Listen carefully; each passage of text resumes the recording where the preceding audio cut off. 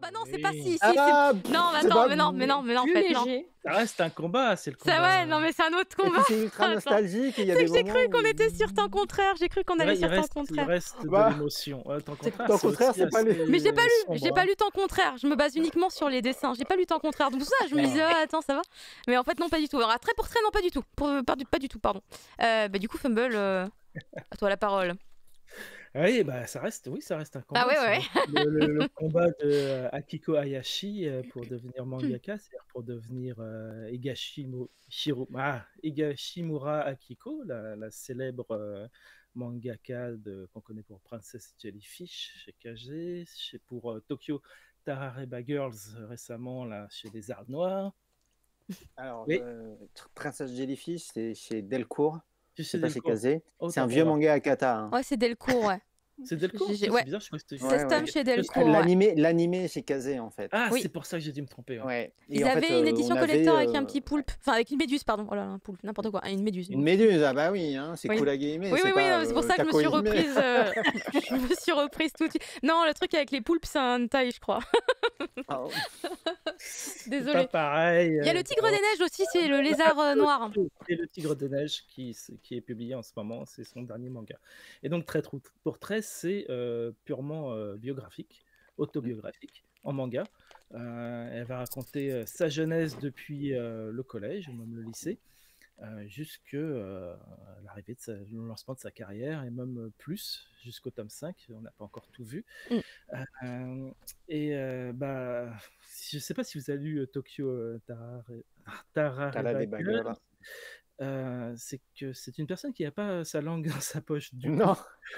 Tout. Euh, euh, comme on l'apprend dans, dans euh, Trait pour Trait, elle a une bonne mémoire, euh, elle est très observatrice Ouais. et elle a aucun euh, filtre pour utiliser tout ce qu'elle sait sur tout son entourage Et sur elle-même. et sur elle-même pour faire des gags et elle a aucune pitié ni pour son entourage d'ailleurs on le voit souvent dans, dans Tokyo mais pour très pour très c'est sur elle-même avant tout euh, où elle se moque totalement de qui Mm. elle était euh, Mm. quand elle était plus jeune Euh, c'est vraiment très gratiné elle a aucune pitié Euh, elle, était euh, complètement dans son monde. C'était une, une jeune fille qui lisait que des shoujo et qui voulait devenir Queen oui, c'était la, reine du shoujo en devenir.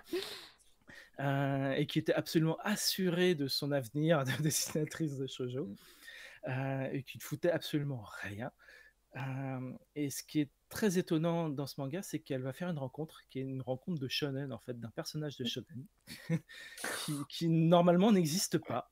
euh, qui n'est pas censé exister et pourtant qui est bien réel, c'est un professeur euh, qui, euh, qui habite pas très loin. Enfin, il faut quand même se déplacer assez longtemps pour, euh, pour y arriver. Un professeur de dessin qui a des méthodes vraiment à l'ancienne, un vieux monsieur avec son sabre de, de- de bois, son bam- en, bambou, et qui n'hésite pas à frapper ses élèves, à, à les martyriser, à leur faire apprendre à la dure c'est quoi le dessin. Et le dessin, c'est euh, la peinture, bien sûr, pour lui. Euh, c'est vraiment le, le Moi, personnage de Shonen, espèce de. Non, là, tu n'y arriveras pas. L'anci- L'ancien. L'ancien. euh, Il y a une sorte d'aura d'ancien peintre euh, pas connu, mais pourtant réputé. Euh, il tient un tout petit. euh, un tout petit. euh, comment on dit un- Un petit boui-boui. oui, oui, oui, c'est un, un petit business avec euh, deux, trois étudiants, tu vois, qui, euh, qui se font martyriser. euh, Il y a un vieux qui vient tout le temps, qui décide toujours, tous les jours la même boîte de Kleenex. Euh, et il y a elle qui est obligée de refaire 50 fois euh, ce qu'elle fait. euh, et elle est obligée d'y aller, en fait, euh, pour, euh, pour apprendre le dessin. Et euh, bah, ce personnage, il est absolument incroyable. Et c'est en fait le second personnage principal de Mhm. l'histoire. Mhm. Et bien sûr, tu comprends assez rapidement que bah, ce personnage, quand euh, elle a décidé de faire cette bi- autobiographie, bah, il est décédé, il n'est plus là. Et elle a énormément de regrets apparemment par rapport à ce personnage, ce qui apporte euh, ponctuellement euh, toujours la touche d'émotion qui est vraiment euh, une belle mélancolie en fait. Euh, euh, ça reste, c'est pas, c'est principal, mais c'est dilué en fait dans tout le récit, ce qui fait que ça, ça reste touchant et, euh, et supportable sur, sur la longueur. Même si Ouais. à chaque fois que ça revient, vraiment, tu as vraiment la, la boule parce que tu sais pas quand est-ce que tu vas apprendre ce passage, quand est-ce que tu qui va être abordé, et puis tu sais pas exactement à quel point elle a raté en fait sa relation avec cette personne au bout d'un moment parce qu'elle a dû le foirer, parce qu'elle foire un nombre incalculable de trucs. C'est incroyable. c'est fou. Et pourtant, c'est tellement typique, quoi. Surtout des étudiants en art. Oh, bah, pas que en art, à l'adolescence, oui, tous les étudiants. quand tu grandis, enfin, mmh. tu, tu, ouais, as l'impression que le, monde t'appartient. Le monde il t'appartient, tu fais n'importe quoi, tu, tu, feras quelque chose à toi, quoi. tu feras quelque chose d'intéressant plus tard. Mmh, mmh. Tu feras attention aux autres plus tard, une fois que tu en auras perdu quelques-uns et que tu auras réalisé qu'une fois qu'ils sont partis, c'est trop tard, quoi. Voilà, c'est ça. Et euh, c'est en tout cas ça pour ce personnage. Après, il y, en a plein d'autres. Hein. Il, y a toute sa famille, il y, a tous ses euh, anciens collègues, euh, ses, euh, ses, anciens collègues étudiants. Il y, a un tas d'anecdotes qui sont fantastiques, hein, qui mmh. sont toujours drôles. le rythme est fantastique. On s'ennuie jamais. Mais elle est incroyable, à Kiko Gashimura, justement, parce que c'est une narratrice, c'est vraiment une grande narratrice en termes de elle t'embarque en fait. Et justement, cette capacité à faire passer du rire. T'es mort de rire trois cases et euh, deux, deux cases après, mais t'as le cœur par terre. quoi. Et c'est pour ça que mmh. c'est d'autant plus violent, tu sais. C'est que ce rire, en fait, c'est pas un rire qui est gratuit pour te faire rire. La réalité, c'est que ce rire, il est là pour te faire passer euh, quelque chose qui va être beaucoup plus dur derrière et que si tu n'es pas préparé psychologiquement, tu vas t'écraser, te cracher au sol complètement. Ah bah c'est la politesse du désespoir. Hein, ouais, exactement. Une autocritique euh, envers elle euh, où elle est obligée d'en rire. Parce Mais que en fait, il faut vraiment incroyablement nul quoi. Mais en même temps, les gens qui ont cette humilité d'être capable de se regarder comme ça, et pour moi, elle fait partie des Ouais, quelle grande dame, quoi, parce que être capable Je ne connais pas beaucoup d'auteurs, en fait, pareil. Euh, je dirais peut-être Kumeta Koji, Ah, qui a fait... euh, il est monsieur, euh, particulier, Kumeta Koji, mais, mais, mais soit. lui aussi, il a pas sa langue dans sa poche. Ah. Et, euh, Ah, il passe ah, sa vie à faire euh, des petites piques. Et il a- Oh, une petite pique ici. et juste après, il s'excuse et il est désolé, vraiment désolé. Et hop, il enchaîne après. Ouais, mais Akiko Higashimura, elle s'excuse pas. Non, non, mais, No. mais au moins, elle, elle, elle s'autocritique autant Elle qu'elle elle s'autocritique attaque les complètement. Donc, Et en fait, le euh, truc, c'est que. hum, Ouais. Tu vois, mais en fait, elle est cynique, mais c'est rarement gratuit. Après, euh, je voudrais revenir sur Tokyo Talaliba Girls, justement, parce que hum, c'est vrai que moi, c'est quelque chose qui m'avait. euh, Ah, ça me frustrait un peu dans Tokyo Talaliba Girls, parce que justement, c'est très cynique, quoi. c'est très, très euh, cynique. c'est Et- très cynique, et je trouvais ça dur. C'est Et un que peu plus en miroir. c'est un peu plus méchant pour ses copines et tout ça qui, Ouais. sont, qui sont utilisées comme, euh, comme modèle, c'est sûr. Après, euh, ce qui était intéressant pour moi, c'est que justement, comment. euh, En fait, pour moi, Tokyo Talaliba Girl, ça marche en miroir avec Princess Jellyfish. Mm. Et euh, ce qui est intéressant, c'est l'espèce de déconstruction euh, sociale qui, a, qui s'opère à travers ces deux ouvrages-là. C'est-à-dire, tu as Tokyo Talaliba Girl, où tu as théoriquement des filles super populaires, à la mode, qui réussissent tout en société, et qui en fait sont émotionnellement complètement à la ramasse et qui sont pas heureuses et que tu as ce qui est socialement considéré comme étant des échecs ces espèces de filles qui sont des otaku euh, qui ont des passions absolument honteuses qu'elles n'arrivent pas à assumer qu'elles ont peur des mecs qu'elles vivent ensemble mais elles sont heureuses en fait. Mm. et ces deux ouvrages là Et- ils sont tellement en miroir euh, que en fait je trouve les deux ils marchent ensemble ils marchent pas l'un sans l'autre Mm. et euh, mais c'est Oui. pour ça que ça me frustrait Tokyo C'est Girl vrai. parce que C'est je un trouve peu ça comme dur une suite quoi spirituelle euh, une dé- enfin, la réponse, enfin, mais du coup, je, pré- je préfère Jellyfish parce que euh, Il est un peu plus C'est plus lu- positif quand même. c'est plus est lumineux. Ouais. c'est plus lumineux. Ouais, c'est vrai que euh, ouais, Tokyo euh, Talariber Girls est beaucoup plus dark. C'est- euh, C'est dur, quoi. c'est- Tu c'est- tu fais. Je crois que le drama, il est, plus, il est plus léger quand même. hein, le drama du Talaleba Girls. Ouais. Ouais, et parce que du coup, le drama, euh, je, je l'avais vu, il y a même une deuxième saison, je crois. Et euh, ils, ils ont, c'est très édulcoré, hein. C'est euh, des happy end, euh, machin et tout. D'accord. bien... Ah ouais, d'accord. Bah, c'est bien édulcoré. Hein. Ouais, Ouais. ouais, Ah, c'est le concept des dramas. hein, euh, Souvent, quand ils réadaptent, ils, ils vont te Ah rendre ouais, ça, mais genre. tu euh, dénatures le truc, hein, parce que Tokyo Talaliba Girl. ouais, dans le euh, manga, t'attends qu'il se passe quelque chose de positif en général. hein. Ouais. Et ça Mais n'arrive pas.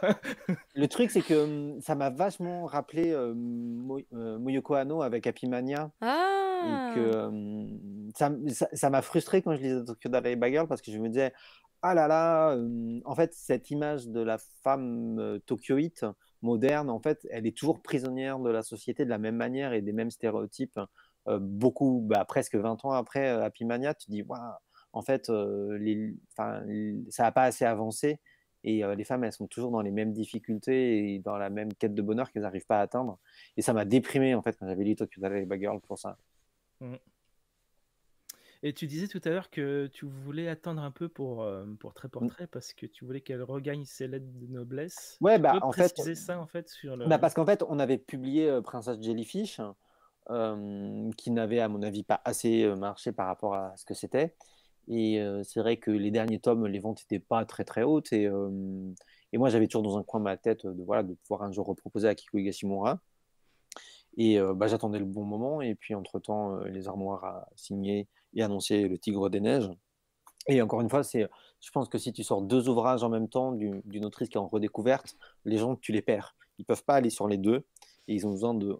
Quelque part, il faut centrer l'énergie et les efforts au même endroit. Mm. Et une fois que tu as imposé un auteur ou une autrice, tu peux permettre de diversifier. Mais il faut aller dans une direction parce que bah voilà, il y a tellement de choses qui sortent que si tu sors bah voilà, le Tigre des Neiges et deux mois après tu sors trait pour trait, tu dis mais attends, qu'est-ce que j'achète? Est-ce que j'achète les deux? Ou est-ce que je vais, comme j'ai déjà un bouquin de cette dessinatrice-là, je vais pas privilégier le bouquin d'une autre dessinatrice? Et voilà, c'est vraiment, je crois vraiment dans les vertus du temps. Ok. Bah, en tout cas, je pense qu'il a un énorme impact, surtout effectivement maintenant qu'on a découvert un peu mieux ses, anciens. Et qui elle est, ouais.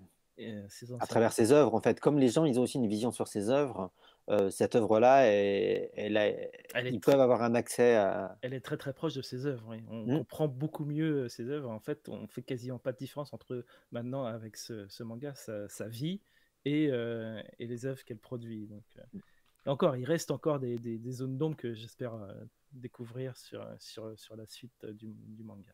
Il reste pas beaucoup, hein. il reste que deux, tomes. tomes. Voilà. 3. Ah oui, non, mais le 3, il est sorti. Euh, ouais. Oui, oui, le 3, le 3 est sorti. le 3 est sorti. donc le reste 2 derrière. Le 3 est fantastique. Quand son, son Je vais t'expliquer le planning d'Akata, t'inquiète pas. Le prof informatique tout bourré.